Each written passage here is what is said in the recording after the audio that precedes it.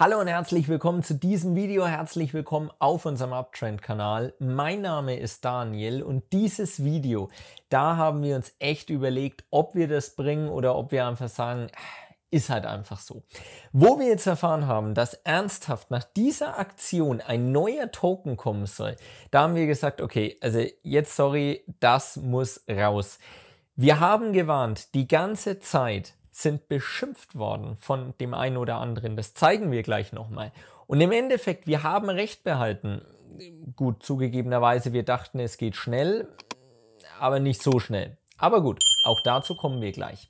Was ist bei Cairo Finance passiert? Das schauen wir uns jetzt an. Doch bevor wir reinstarten, noch ein kurzes Announcement. Am 24. September sind wir eingeladen als Gastspeaker bei über 2500 Menschen. Also das heißt für dich, du kannst da super netzwerken, du kannst aber auch mit uns Gespräche führen und uns eben nicht nur immer am Bildschirm sehen. Wenn du da Bock drauf hast, dann schau jetzt mal in die Description und sicher dir dein Ticket. Und jetzt, jetzt analysieren wir mal, was bei Cairo denn brachial schiefgelaufen ist.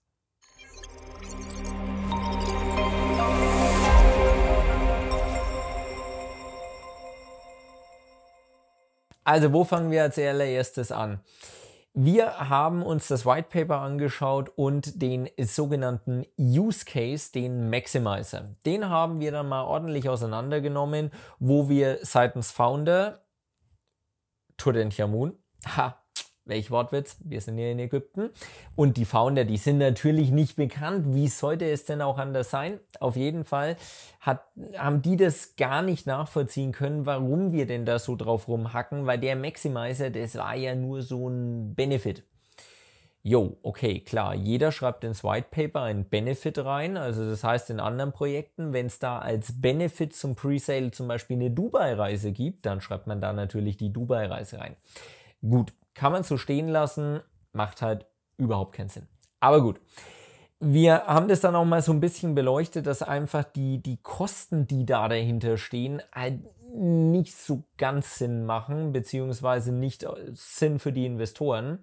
Ähm, dazu teile ich dir jetzt mal den Bildschirm und wenn du dir das mal anschaust, also du hast ja, äh, wo steht's denn hier? Moment, Moment, Moment. Du hast erstmal eine Slippage, das heißt beim Buy 12% und beim Sell 12%. Und zudem zahlst du nochmal, wenn du in den Pool reingehst, 10% und wenn du rausgehst, 10%. Okay, das macht dann ungefähr 42% an Kosten, bis du überhaupt mal auf Null bist. Das an der Stelle würden wir jetzt mal in die Behauptung aufstellen, das hat zum aktuellen Zeitpunkt auch noch keiner erreicht. Äh, ach ja, falls du es noch nicht mitbekommen hast, das Projekt ist eh schon tot. Aber wie gesagt, schauen wir es uns mal näher an. Das ist so eine Sache, wo wir sagen, äh, kannst du machen, ist halt gut fürs Projekt, weil verkauft wird halt wenig. Das hat man auch am Chart gesehen, aber das war es dann halt auch.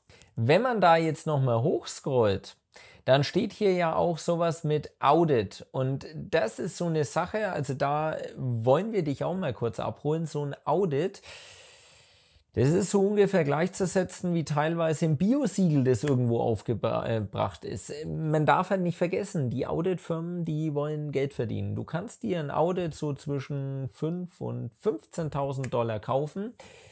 Jo, also für ein Kryptoprojekt, das Millionen einsammelt, lassen wir jetzt mal so stehen, ob das der Aufwand ist, sich da bei 5.000 bis 10.000 halt mal so ein Ding zu kaufen. Gut, dieses Audit wurde übrigens natürlich nicht abgeschlossen und bevor dann quasi das Audit auch abgeschlossen werden konnte, da kam natürlich der berühmte Hackerangriff, weil das ist natürlich klar, was sonst. Aber da kommen wir gleich dazu. Jetzt möchte ich dir an der Stelle erstmal zeigen, was wir uns anhören durften. Und dann kannst du dir mal überlegen, was mit diesem Projekt nach einer Laufzeit von sagenumwogenen drei Monaten passiert ist. Und zwar hier mal kurz, also das ist unser Video, was wir veröffentlicht haben, wo wir eben den Maximizer gezeigt haben. Und wenn man hier mal runter geht, ja, ist cool. Also der erste sagt erstmal hier, wir haben ja ein Interview mit den Foundern geführt und es ist jetzt viel mehr klar. Ja, das war schlüssig erklärt, was der Use Case sein sollte kam halt leider nur nicht zu tragen. Dann ging es hier weiter. Okay, ein paar, die haben sich auch bedankt. Katastrophales Projekt. Hm, hat einer Weitsicht gehabt. Ähm, dann ging es weiter. Wo war es denn hier? Love Cairo Finance. Naja, okay. Ähm, kann er sich jetzt zu den Mumien legen? Hier, würde das Video hier runternehmen und ein neues machen. So viel Halbwissen und Unwahrheiten hier, ja, okay.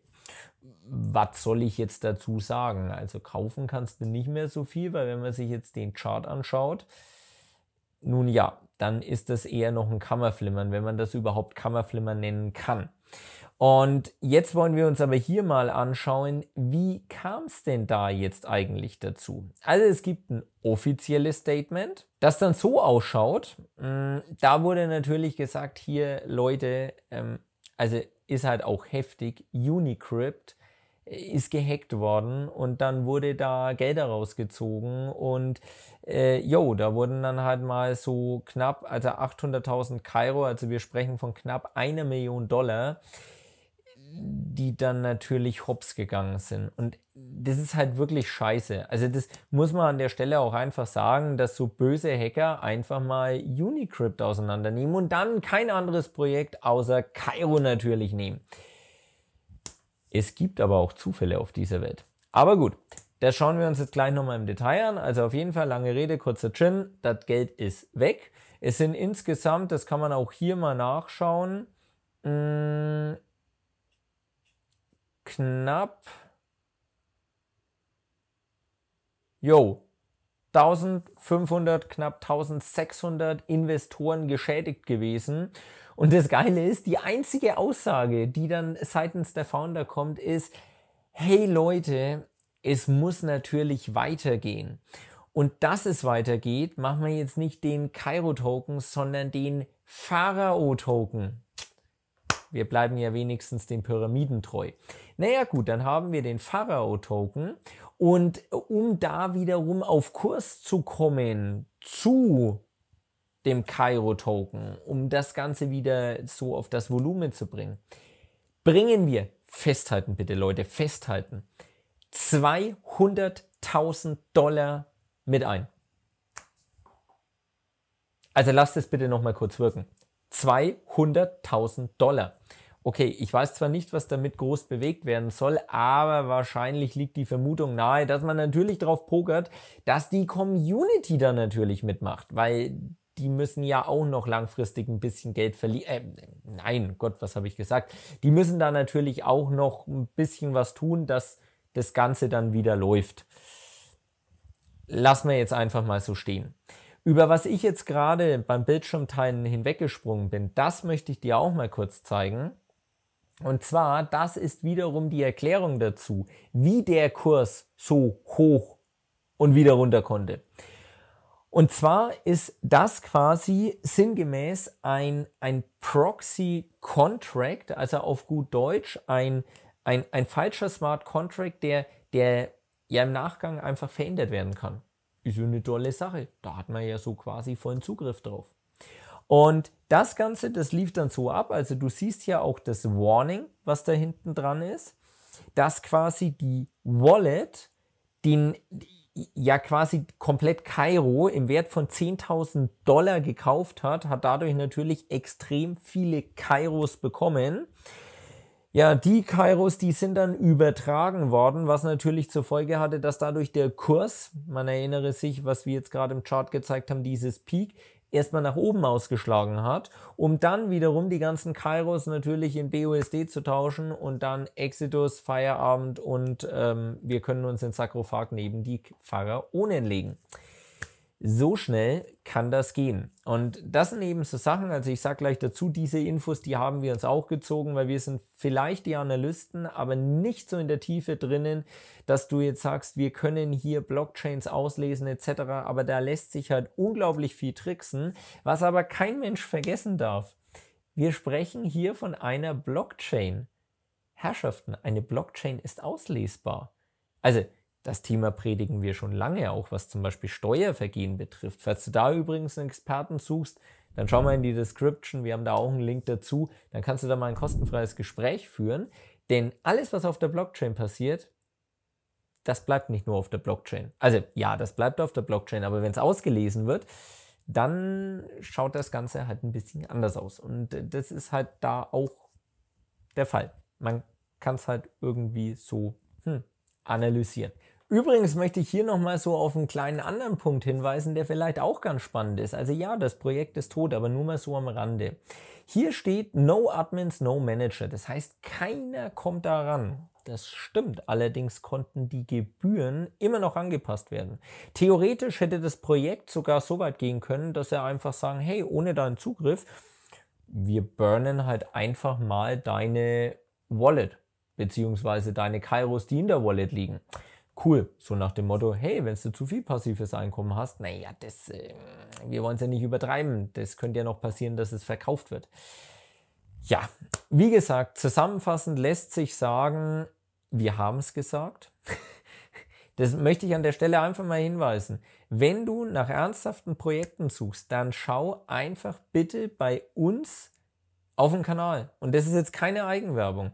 Wir haben es lange Zeit vorher gesagt, wir haben dir jetzt auch die Beweise geliefert. Du darfst dir auch gerne mal die anderen Kommentare noch durchlesen, aber du siehst schlichtweg, wir haben da vielleicht doch so ein bisschen kritische Brille immer auf, die aber den ein oder anderen Investor vor diesem Schaden bewahrt hätte.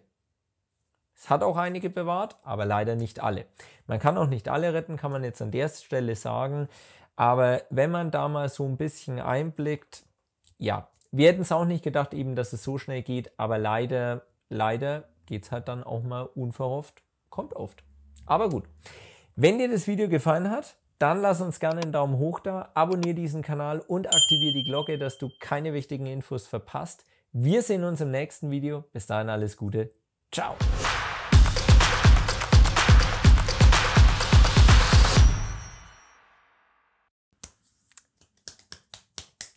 It.